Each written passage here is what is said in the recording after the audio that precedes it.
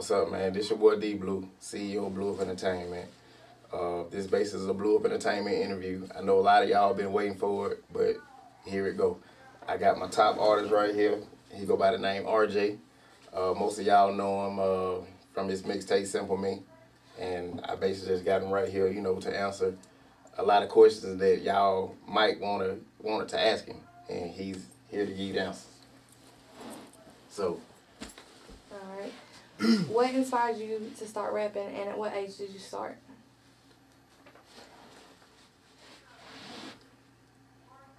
I was inspired from uh, doing music, um, just from my background. My background that I, I grew up in, um, I started out around the age of eight years old. I've always wanted to just do music. And um, I was mostly inspired by Tupac growing up. Tupac, Jay Z, Nas, Biggie, uh, Run DMC, Beastie Boys, The Beatles, Pink Floyd, um, pretty much everybody who was higher than I was. Where did you grow up, and how did your environment play into your music? I grew up on the east side of Athens. I was born in Atlanta. Uh, my environment played into my music because of uh, all the negative stuff that was around me drugs, money, females, guns, uh, the streets. Um, it played a lot into my music, and you could tell from the way from what, what I was rapping about back way back when when I did it, and uh, pretty much everything that I pretty much everything that I seen around me, I incorporated into my music to try to uh, make a new style and to have something for everybody to listen to. So, who influences you now?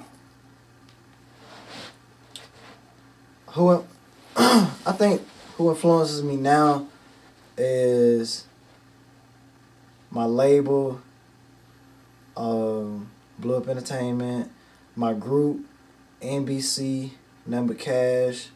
Um, honestly, like a lot of these whack ass rappers would influence me right now. Cause a lot of these niggas can't rap. Yeah, there's a lot of them out there. But pretty much, um, everything around me influenced me now.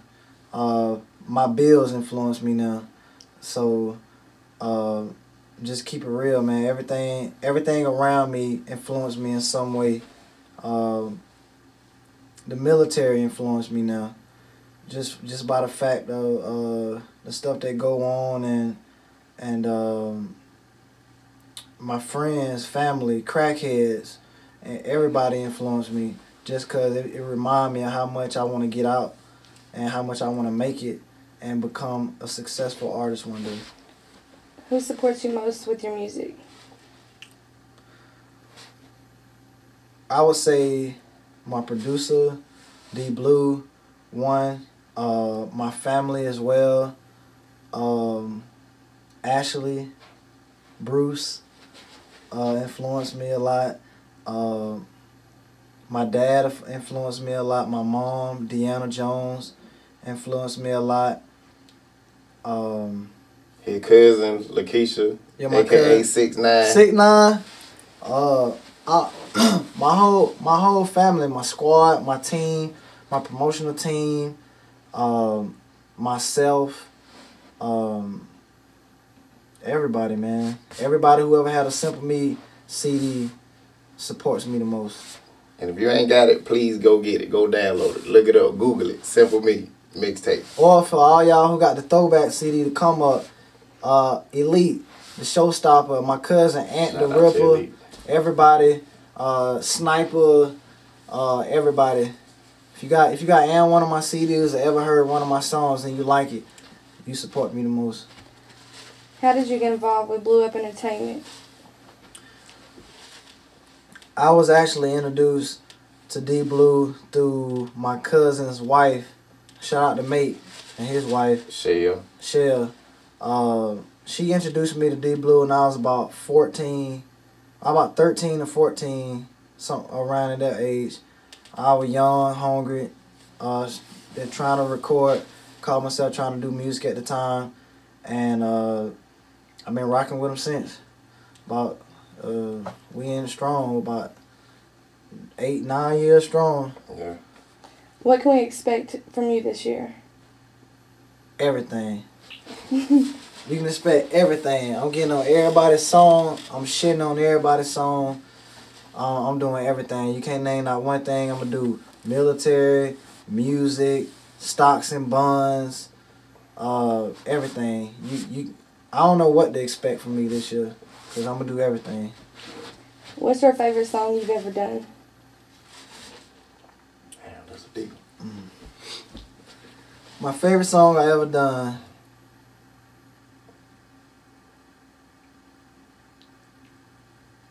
Will probably be February Hurts. Uh, I made a song called February Hurts, uh, which roll into my next CD that I'll be coming out with, my next mixtape. Uh, I made the song February Hurts from, uh, I used to be married. Uh, I used to be married, uh, and like a few months ago I was married and I had kids, and I found out my kids weren't mine through a whole bunch of nonsense and stuff. Shout out to her. Uh, found out my kids weren't mine and made a song about it. Uh, I had my son I had my son on the end of the song. Uh, my first time ever playing it for one of my homeboys. Uh, we were sitting in the car, and uh, he had been going through a divorce as well, and he had kids involved, you know, and uh, he got really emotional about it. And everybody who I play it for get really emotional about it, whether they know me or not. And so, with me having to have some, to make something out my heart, put it on paper, record it, and then to have others like mourn over it and show a lot of emotion and sympathy for my situation, let me know that they were the best song I ever did. How many mixtapes and albums do you have? So far, I got, I got four, I got four mixtapes. The first mixtape I ever did was, uh, a mixtape. We had a group called a Dream Team. I did uh, with Micha G, back when I was like a young, uh, like super young, like twelve. I did that with him. Uh, the next mixtape, my second one I did, I did with uh, off the street. We used to record on a tape player. Um, we could record like half of the songs on a tape player, and then we recorded half the songs in like a in a closet with a Walmart microphone, uh, with a with a bent clothes hanger and a stocking, and we did, Hustling flow. yeah. so we recorded that, and then my third mixtape was the come up, and uh, which I recorded with Elite, the Showstopper. My fourth mixtape was Simple Me, which I dropped last year, August the sixteenth in two thousand eleven, and uh, I'm working on five and six right now at the same time, simultaneously Same Uh, damn time. my my uh fifth mixtape is gonna be with my group. I'm starting a group in North Dakota, NBC. That's Number Cash. Shout out to Trey, Bebo, Q, uh, Ralph, uh, the whole nine. Doe, Clay, Squirt, uh, Russell, Keno. All y'all, man. Shout out to y'all. The other Trey, Marlon, the whole nine, the whole squad, man. Shout out to y'all uh, working on their mixtape and uh, uh, it pretty much three three other artists. They just starting out to do music and stuff. So uh, we're trying something different. I'm trying to approach their mixtape from a from a producer level. You know, uh, even though I'm in the mixtape, I'm still trying like supervising it and trying to like get in the feel of having my own my own thing, like my own studio, my own little label and stuff like that up under Blue Up Entertainment you know, under everybody. Um, that's about it. So, what is your goals for your music career? My goals for music music career is to touch to just reach people, to touch people, to touch the world, to leave my legacy here. So when I die, when I die, um, I have some other than my kids in the future, who, which I plan on having. Uh, you know, to have something here for the people to listen to, and um, to just change the world, man. I want to be a part of something. I want to be, I want to be one of the great names that people remember in the world when I die, uh, that live on forever. Uh, something that people can hold on to and still relate to 20 years from now, 30 years from now, 40 years from now. Um, I wanna I wanna make a lot of money so I can take my family up out of here, uh, put other people in in in uh, new positions to be successful in life. I wanna uh, I wanna donate I wanna donate money to uh, to orphanages and and foster and foster kids and I want to help out I want to help the poor I want to really make an impact because half niggas that say they doing it ain't really doing shit so uh, I want to open up doors for people who've had doors closed in their face uh, who don't have I just want I just believe in everybody having uh, an opportunity to experience the life the great life and if I can be any part of that or it can provide any opportunity for people I am. When you're not busy in the studio, how do you enjoy your life? Getting prepared for the studio. uh, I enjoy my life. I play video game on the Madden at Madden, on the Madden 2K12. Uh, I play football, run track, uh, play basketball. Uh, I go out to the club every now and then. Uh, I don't shop as much as I used to. Uh, buy studio equipment. Uh, pretty much everything that I do now got got something to do with with either exercise or music or both. So. How has being in the military affected your music? Being in the military affected my music because again, it has gave me like, it's it's shown me different things and uh. You pretty much like, when you're in the military, you see so much stuff and you see a lot of different stuff, so you're able to rap about more. You're not just sing uh single minded. Um, I'm able to see like um, what people really go through, who deployed, you know, rather than just see about it on TV, you kind of get the insight of everything that's going on within the government, which expands my mind more to rap about it. Um, moving to different cities and stuff helped me out a lot as far as promotion wise, you know, to get my music out.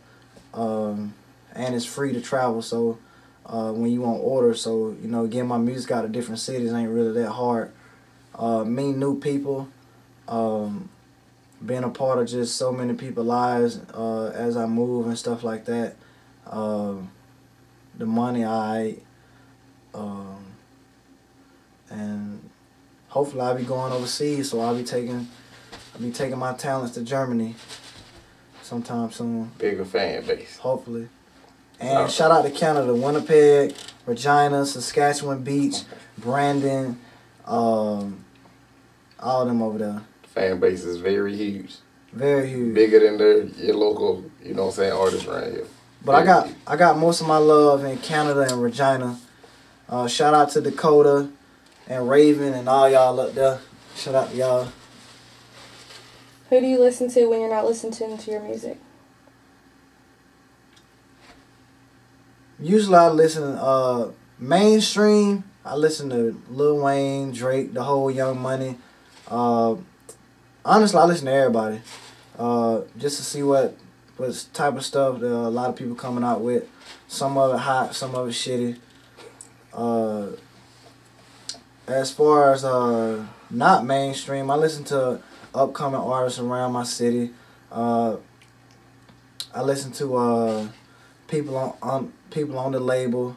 Uh, shout out to Malachi, Miss Unique, and uh, Tipsy, Tip Clarke. Uh, I listen to all them. Um, Velvet. So, yeah, Velvet. Uh, the gospel singer. Yeah, all them. I listen to everybody. I pretty much just listen to everybody. That's how that's how I come up with with new shit. Cause I don't do shit that everybody else did. Oh, before I catch y'all, you know I can't leave uh, LG out. Larry. Oh yeah, shout out to LG man. Yeah, yeah. New artist on the label. Yeah. Coming soon. Rising above. Um, I listen to my little cousin. Uh, he called himself trying to do music. Him and his whole squad. Shout out to man your whole squad. Uh, Quincy. I listen to uh, Q, little, another little artist down here. Um, but my favorite artist I listen to right now probably be uh. My favorite would probably be. I like Meek Mill. Uh, I listen a lot of Meek Mill. Uh, I still I listen to T.I. of course. Ti. Uh, my favorite song right now is probably uh Nas, that daughter song. Uh, this song got a. Uh, I ain't I don't have a daughter, but I got a little sister, so uh, I'm kind of like her daddy in a way. So it seemed like anyway. Uh, so I like that song. Um, So if I went into your car right now and turned on the radio or on the CD player, what would be on? my shit. I listen to I listen to my stuff more than uh, anybody. Uh, just for cause I'm I'm my biggest criticizer, so I listen to my own Yes, stuff. Uh, and to see how I can get better, I listen to the same song like twenty times over. So, uh, be prepared for me if you ride with me. We're gonna listen to the same shit over and over. Um, shout out to them Boom Boys, Eastside. I just recorded a couple songs with my homeboy Brand Brand. Uh, be looking out for his stuff pretty soon. Uh, but yeah, I listen to my own shit. Kanye status. Do you have a date on when your your next album, your next mixtape's gonna be out? No, but Nah, they coming soon. It's coming soon. It might come tomorrow. Shit. They coming soon though. I don't, I don't have no set dates for them because some days I record eight songs, some days I record one verse, some days I don't even record. So I uh Most of the time, we just rack up songs over here and she just pick out the hat. You know what I'm saying? What we gonna put out? You know. So but it's coming soon. Sometime this summer. Be looking out for it. I don't know the name of it yet. well, I feel like before he left, uh, when I first met him, he was he was fine. You know what I'm saying? But he asked me a question before he left. He asked me, uh, D Blue, do you think uh, I should go in the military or should I stay here? Do you think that my music, that I'm gonna go somewhere with my music? So I'm like, well, to give you a real life answer, I think you should go in the military. I mean, I feel like you should put your life come first, and your hobbies, you know, uh, they come second. Uh, so I feel like you should just. I told him, you know, just just go ahead and go in the military, and you can continue to do this do this music. And uh, shit, he left, took off, and I don't know what he was taking over there. You know what I'm saying? But it was like he was shooting up steroid because he he don't got super lyrical than what he was before he left. So I'm glad that I gave him the answer that I gave him because then also I think it made a better man uh, of him. Uh, he had some good experiences, he had some bad experiences uh, over there, but you know that all that's all part of becoming a man. And if I had to go back and take it back, take my answer back, what I gave him, I wouldn't take it back. I'd leave it just like it is. Uh, he also has has had the opportunity to be on uh, Shady 45, XM Radio. Uh, Hip Hop Nation. yeah, I was on Shade 45, Hip Hop Nation. Uh, I was on 93, 93.3 down in Florida. DJ Khaled. Uh, was the DJ Khaled was the host that night uh, with Big E. Shout out to Big E. Um, I got I got I got to him through my mama. My mom used to talk to him, so you know I'm blessed with that. Uh? I think the man, the young man is making moves. I mean, we ain't just sitting around just wasting money, just you know, soaking, just sucking up the air, wasting. I mean, we we putting in some work over here, and I'm in. I'm satisfied with you know what's going on right now. I wouldn't change that. Well, yes, I would. I would turn it up some more. Everything what we doing. So, Mm. so shout out to you know uh, RJ. Shout out to you know my little sister over there. Now, I don't adopt you now. Ashley. Alizé. Yeah, Miss Alizé. What's up, y'all? she's also a rapper. You know, she's from Kentucky. She doing her thing. I actually like you know the way her style. So uh, hopefully you'll be hearing some things from her too. Uh, if you want to look us up, uh, you can always Google Blue Up Entertainment, Blue Up ENT, not Blue Up B L U E Up U P E N T or Entertainment. Google that. We on Facebook. I have a YouTube channel, Blue Up Entertainment. I mean Blue Up ENT. Uh, we on Tag, MySpace, venue, venue, every everything, every social site out there. We on. Uh, you can also look up RJ. Uh, Google his name. Yeah, I'm pretty sure everything will pop up. Uh, You find me at Facebook uh, dot com forward slash um fuck oh Yungin TC Y U N G I N the letter T the letter C RJ ain't playing at without the G at gmail.com. You can find me at twitter.com forward slash the new guy 2011. Um, what else? I ain't got a YouTube account yet. but you can find it through, you know, the label YouTube, Blue or ENT. Shout out to all my boy back in North Dakota again. All my niggas on the east side down here, Boom Boys, uh, Block Burner, Gang Green. Uh, shout out to all my uh, clique in North Dakota, uh, NBC, Cutlass Records, them Ciroc Boys, my homie Big Ace up there. Uh, shout out to everybody, man. My God. So I guess we this interview is over. Thanks for listening. Like I said, look us up. Um, we'll be coming out with some fun stuff.